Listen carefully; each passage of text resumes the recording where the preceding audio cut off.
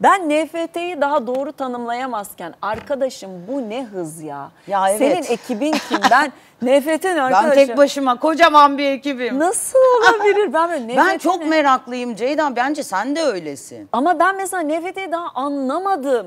Bu ne hız?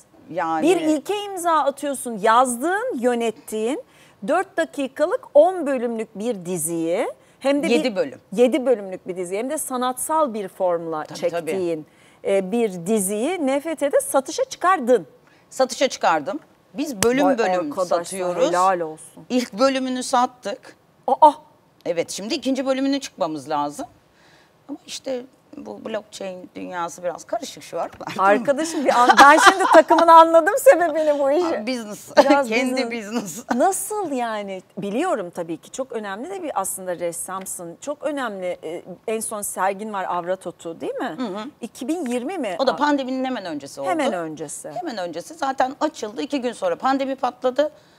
Peki biz tekrar geldi. görebilecek miyiz Avratotu'nu? Ya aslında tek tek satılıyor maalesef. Nerede görüyorlar da alıyorlar? Yani bilen alıyor. Yani, Yani bir- bayağı yarısından çoğu satıldı Gitti mi? zaten. Yoksa İngiltere'de açacaktım. Ama ona başka şimdi Ergen serisi düşünüyorum. Çünkü ergen bir oğlum Çünkü var. ergen bir oğlum var. Ergenden yılacak. Ama Çok sen çok ergenden yılacak gibi bir kadın değilsin Bence ya. ergenlik çok komikmiş. Yani Yani harika bak. Yani çok. Ben senin kadar bunu göğsümde yumuşatamayabilirim Sen arkadaşım. mi? Yok ben ben öyle öyle Aa. sandığın kadar değilim galiba ben. Sen çok eğlencelisin kızım. Sen de çok eğlencelisin. Yok ben düşünemiyorum yani Ali Ergen olacak da ben senin yaptığını ben Aa. sen çok eğleniyorsun ya.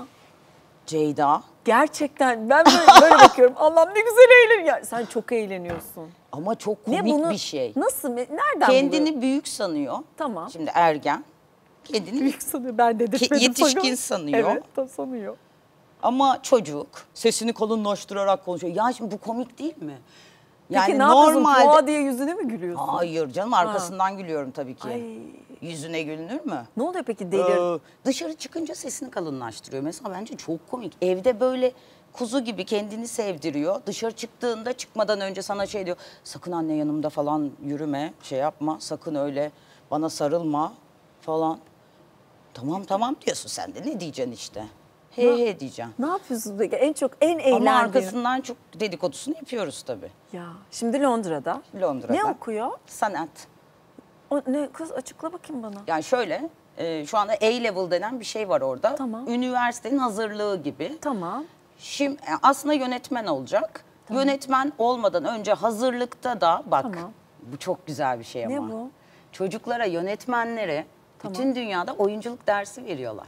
Tabii ki. Tabii ki. Tabii ki. Sonra yani şey gidiyor e, Lady Gaga müthiş oynuyor çünkü yönetmen oyunculuktan anlıyor. Tabii. Biz de diyoruz ki bu kadın nasıl böyle? Yani